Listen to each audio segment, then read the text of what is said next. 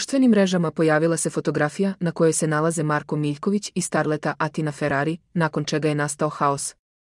Na jednom Twitter nalogu vidi se kako je navodno Atina na svom Instagram storiju objavila zajedničku fotografiju sa Miljkovićem koja je nastala pre nekoliko godina, a tu priliku je iskoristila da javno potkači Markovu suprugu, Lunu Đogani.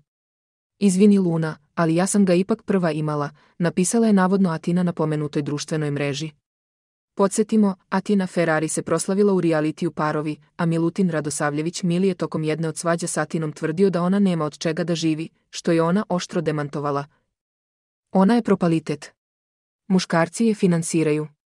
Ko zna koliko im novca iznudi, znam takve poput nje, govorio je Mili. Da, ja se ne skidam ispod 500 evra, odgovorila je tada Atina, a tada je otkrila da za istu cifru i peva. Naime, pošto se Atina predstavlja i kao pevačica, voditeljka realitija upitala ju je da otpeva nešto cimerima i gledaocima. Nema od toga ništa. Ja sam profesionalka i to samo za pare radim.